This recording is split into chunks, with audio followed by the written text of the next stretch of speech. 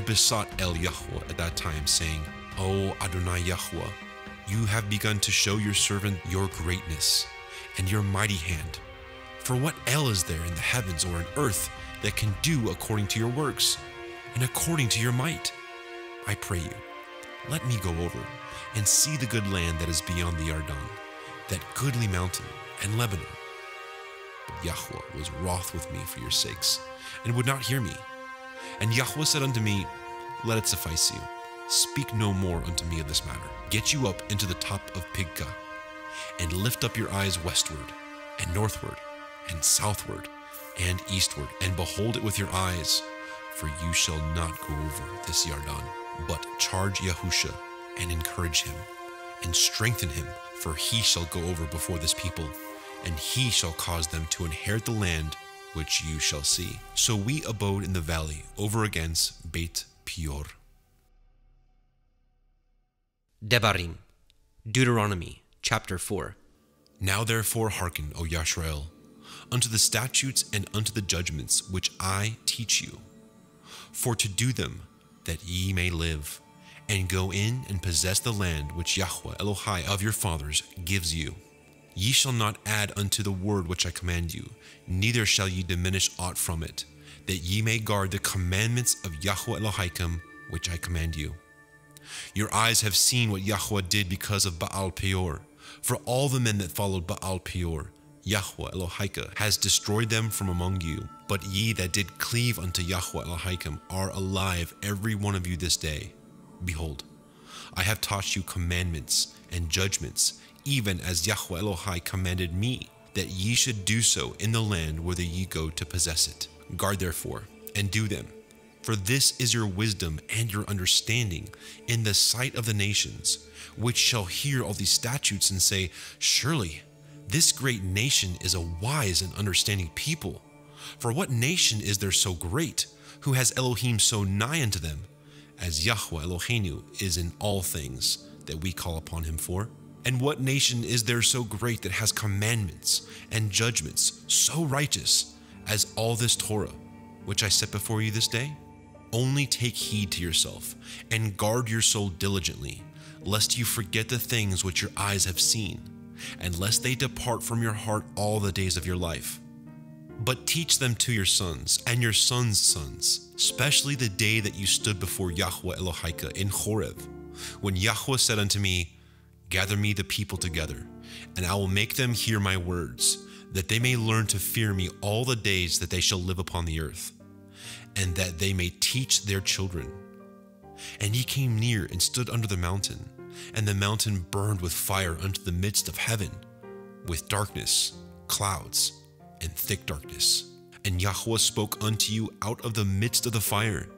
Ye heard the voice of the words, but saw no similitude, only ye heard a voice. And he declared unto you his covenant, which he commanded you to perform, even ten debarim. And he wrote them upon two sapphire stones. And Yahweh commanded me at that time to teach you commandments and judgments, that ye might do them in the land whither ye go over to possess it. Take ye therefore good heed unto yourselves, for ye saw no manner of similitude on the day that Yahweh spoke unto you in Horeb, out of the midst of the fire, lest ye corrupt yourselves, and make you a graven image, the similitude of any figure, the likeness of male or female, the likeness of any beast that is on the earth, the likeness of any winged fowl that flies in the air, the likeness of anything that creeps on the ground, the likeness of any fish that is in the waters beneath the earth. And lest you lift up your eyes unto heaven, and when you see the sun, and the moon, and the stars, even all the host of heaven, should be driven to worship them, and serve them, which Yahweh Elohika has divided unto all nations under the whole heaven. But Yahweh has taken you, and brought you forth out of the iron furnace, even out of Mitzrayim, to be unto him a people of inheritance, as ye are this day.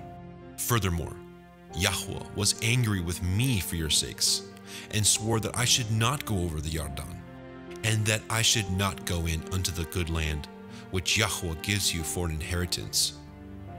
But I must die in this land. I must not go over the Yarden, but ye shall go over. and possess that good land. Take heed unto yourselves, lest you forget the covenant of Yahweh Elohim, which he cut with you, and make you a graven image or the likeness of anything which Yahweh Elohim has forbidden you. For Yahweh Elohim is a consuming fire, even a jealous El. When ye shall beget children, and children's children, and ye shall have remained long in the land, and shall corrupt yourselves, and make a graven image, or the likeness of anything, and shall do evil in the sight of Yahweh Elohim, to provoke him to anger. I call the heavens and the earth to witness against you this day, that ye shall soon utterly perish from off the land whereinto ye go over the Yarden to possess it. Ye shall not prolong your days upon it, but shall utterly be destroyed. And Yahweh shall scatter you among the nations, and ye shall be left few in number among the heathen, whither Yahweh shall lead you. And there ye shall serve Elohim, the work of men's hands, wood and stone, which neither see, nor hear, nor eat, nor smell. But if from thence you shall seek Yahweh Elohim, you shall find him. If you seek him with all your heart and with all your soul, when you are in tribulation and all these things are come upon you, even in the latter days, if you turn to Yahweh Elohim and shall be obedient unto his voice. For Yahweh Elohim is a merciful El. He will not forsake you, neither destroy you, nor forget the covenant of your fathers which he swore unto them. For ask now of the days that are past, which were before you, since the day that Elohim created man upon the earth, and ask from the one side of heaven unto the other, whether there has been any such thing as this great thing is, or has been heard like it. Did ever people hear the voice of Elohim speaking out of the midst of the fire as you have heard and live?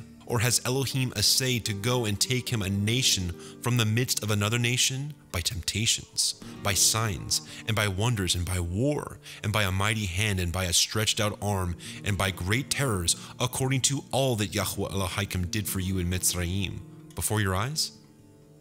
Unto you it was showed, that you might know that Yahweh, He is Elohim, there is none else beside Him. Out of heaven He made you to hear His voice that he might instruct you, and upon earth he showed you his great fire, and you heard his words out of the midst of the fire. And because he loved your fathers, therefore he chose their seed after them, and brought you out in his sight with his mighty power out of Mitzrayim, to drive out nations from before you, greater and mightier than you are, to bring you in, to give you their land for an inheritance, as it is this day. Know therefore this day, and consider it in your heart, that Yahweh, He is Elohim in heaven above, and upon the earth beneath, there is none else. You shall guard therefore His statutes and His commandments, which I command you this day, that it may go well with you, and with your children after you, and that you may prolong your days upon the earth, which Yahweh Elohim gives you forever. Then Moshe severed three cities on this side of the Yarden toward the sun rising, that the slayer might flee thither, which should kill his neighbor unawares, and hated him not in times past, and that fleeing unto one of these cities he might live, namely Betzer in the wilderness, in the plain country of the Reuvenim, and Ramoth in Gilead of the Gadim, and Golan in Bashan of the Menashim and this is the Torah which Moshe set before the children of Yashrael. These are the testimonies, and the statutes, and the judgments, which Moshe spoke unto the children of Yashrael after they came forth out of Mitzrayim. On this side of the Yarden, in the valley over against Beit Peor, in the land of Sihon, king of the Amorim, who dwelt at Heshbon, whom Moshe and the children of Yashrael smote, after they were come forth out of Mitzrayim. And they possessed his land, and the land of Og, king of Bashan, two kings of the Amorim, which were on this side of the Yarden toward the sunrising. From Aroer, which is by the bank of the river Arnon, even unto Mount Sihon, which is Hermon, and all the plain on this side of the Yarden eastward, even unto the sea of the plain, under the springs of Pisgah.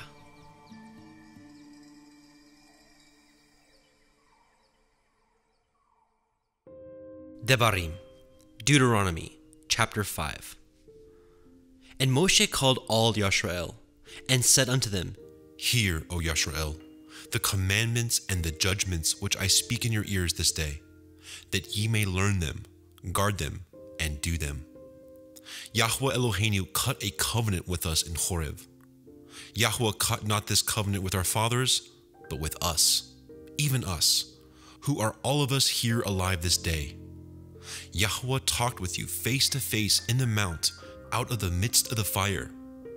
I stood between Yahweh and you at that time to show you the word of Yahweh, for ye were afraid by reason of the fire, and went not up into the mount, saying, I am Yahweh Elohika, which brought you out of the land of Mitzrayim, from the house of bondage.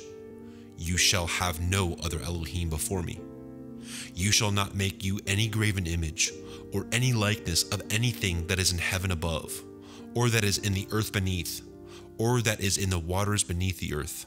You shall not bow down yourself unto them, nor serve them, for I, Yahweh Elohika, am a jealous El, visiting the iniquity of the fathers upon the children unto the third and fourth generation of them that hate me, and showing mercy unto thousands of them that love me and guard my commandments. You shall not take the name of Yahweh Elohika in vain, for Yahweh will not hold him guiltless that takes his name in vain. Guard the day of the Shabbat, to sanctify it, as Yahweh Elohika has commanded you. Six days you shall labor and do all your work. But the seventh day is the Shabbat of Yahweh Elohika. In it you shall not do any work, you, nor your son, nor your daughter, nor your manservant, nor your maidservant, nor your ox, nor your ass, nor any of your cattle, nor your stranger that is within your gates, that your manservant and your maidservant may rest as well as you. And remember that you were a servant in the land of Mitzrayim, and that Yahweh Elohika brought you out thence through a mighty hand and by a stretched out arm. Therefore, Yahweh Elohika commanded you to observe the day of Shabbat. Honor your father and your mother, as Yahweh Elohika has commanded you, that your days may be prolonged, and that it may go well with you in the land which Yahweh Elohika gives you. You shall not murder, neither shall you commit adultery, neither shall you steal, neither shall you bear false witness against your neighbor, neither shall you lust after your neighbor's woman, neither shall you lust after your neighbor's house, his field, or his manservant, or his maidservant, his ox, or his ass, or anything that is your neighbor's. These words Yahweh spoke unto all your assembly in the mount out of the midst of the fire, of the cloud, and of the thick darkness, with a great voice. And he added no more. And he wrote them on two sapphire stones, and delivered them unto me. And it came to pass, when he heard the voice out of the midst of the darkness, for the mountain did burn with fire, that you came near unto me, even all the heads of your tribes and your elders. And he said, Behold, Yahweh Eloheinu has showed us his glory and his greatness, and we have heard his voice out of the midst of the fire. We have seen this day that Elohim talks with man, and he lives. Now therefore, why should we die? For this great fire will consume us. If we hear the voice of Yahweh Eloheinu any more, then we shall die. For who is there of all flesh that has heard the voice of the living Elohim speaking out of the midst of the fire as we have and lived? Go near and hear all that Yahweh Eloheinu shall say, and speak you unto us all that Yahweh Eloheinu shall speak unto you, and we will hear it and do it. And Yahweh heard the voice of your words when ye spoke unto me. And Yahweh said unto me, I have heard the voice of the words of this people, which they have spoken unto you. They have well said all that they have spoken. Oh, that there were such a heart in them, that they would fear me, and guard all my commandments always, that it might be well with them, and with their children forever. Go say to them, Get you into your tents again. But as for you, stand here by me, and I will speak unto you all the commandments, and the statutes, and the judgments which you shall teach them, that they may do them in the land which I give them to possess it. Ye shall guard to do therefore as Yahweh Elohim has commanded you. Ye shall not turn aside to the right hand or to the left. Ye shall walk in all the ways which Yahweh Elohim has commanded you, that ye may live, and that it may be well with you, and that ye may prolong your days in the land which ye shall possess. Debarim, Deuteronomy chapter 6. Now these are the commandments, the statutes, and the judgments which Yahweh Elohim commanded to teach you, that ye might do them in the land whither ye go to possess it, that you might fear Yahweh Elohim, to guard all his statutes and his commandments, which I command you, you and your son and your son's son, all the days of your life, and that your days may be prolonged. Hear therefore, O Yashrael, and guard to do it, that it may be well with you, and that ye may increase mightily, as Yahweh Elohai of your fathers has promised you, in the land that flows with milk and honey. Hear, O Yashrael, Yahweh Eloheinu, Yahweh is one. And you shall love Yahweh Elohika with all your heart, and with all your soul, and with all your might. And these words which I command you this day shall be in your heart. And you shall teach them diligently unto your children, and shall talk of them when you sit in your house, and when you walk by the way, and when you lie down, and when you rise up. And you shall bind them for a sign upon your hand, and they shall be as frontlets between your eyes. And you shall write them upon the posts of your house and on your gates. And it shall be, when Yahweh Elohika shall have brought you into the land which he swore unto your fathers, to Avraham, to Yitzchak, and to Yaakov, to give you great and goodly cities which you built not, and houses full of all good things which you filled not, and wells dug which you dug not, vineyards and olive trees which you planted not. When you shall have eaten and be full, then beware, lest you forget Yahweh, which brought you forth out of the land of Mitzrayim, from the house of bondage. You shall fear Yahweh Elohika, and serve him, and shall swear by his name. Ye shall not go after other Elohim, of the Elohim of the people which are round about you. For Yahweh Elohika is a jealous El among you, lest the anger of Yahweh Elohika be kindled against you, and destroy you from off the face of the earth. You shall not tempt Yahweh Elohim as ye tempted him in Massah. Ye shall diligently guard the commandments of Yahweh Elohim and his testimonies and his statutes, which he has commanded you. And you shall do that which is right and good in the sight of Yahweh, that it may be well with you, and that you may go in and possess the good land which Yahweh swore unto your fathers, to cast out all your enemies from before you, as Yahweh has spoken. And when your son asks you in time to come, saying, What mean these testimonies, and these statutes, and the judgments, which Yahweh Eloheinu has commanded you? Then you shall say unto your son, We were Pharaoh's bondmen in Mitzrayim, and Yahweh brought us out of Mitzrayim with a mighty hand. And Yahweh showed signs and wonders, great and sore, upon Mitzrayim, upon Pharaoh, upon all his household before our eyes. And he brought us out from thence, that he might bring us in, to give us the land which he swore unto our fathers. And Yahweh commanded us to do all these statutes, to fear Yahweh Eloheinu, for our good always, that he might preserve us alive, as it is this day. And it shall be our righteousness, if we guard to do all these commandments before Yahweh Eloheinu, as he has commanded us. Debarim, Deuteronomy chapter 7. When Yahweh Elohim shall bring you into the land whither you go to possess it, and has cast out many nations before you, the Chittim, and the Girgashim, and the Emorim, and the Kenanim, and the Perizim, and the Chivim, and the Yebusim, seven nations greater and mightier than you. And when Yahweh Elohika shall deliver them before you, you shall smite them, and utterly destroy them. You shall cut no covenant with them, nor show mercy unto them. Neither shall you make marriages with them. Your daughter you shall not give unto his son, nor his daughter shall you take unto your son. For they will turn away your son from following me, that they may serve other Elohim. So will the anger of Yahweh be kindled against you, and destroy you suddenly. But thus shall ye deal with them. Ye shall destroy their altars, and break down their images, and cut down their Asherah poles, and burn their graven images with fire. For you are a holy people unto Yahweh Elohika.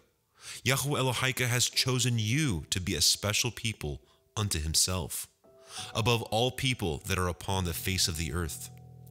Yahweh did not set his love upon you, nor choose you, because you were more in number than any people, for ye were the fewest of all people. But because Yahweh loved you, and because he would guard the oath which he had sworn unto your fathers, has Yahweh brought you out with a mighty hand, and redeemed you out of the house of bondmen, from the hand of Pharaoh, king of Mitzrayim. Know therefore that Yahweh Elohika, he is Elohim, the faithful El, which guards his covenant and mercy with them that love him and guard his commandments to a thousand generations, and repays them that hate him to their face to destroy them. He will not be slack to him that hates him, he will repay him to his face. You shall therefore guard the commandments, and the statutes, and the judgments, which I command you this day to do them.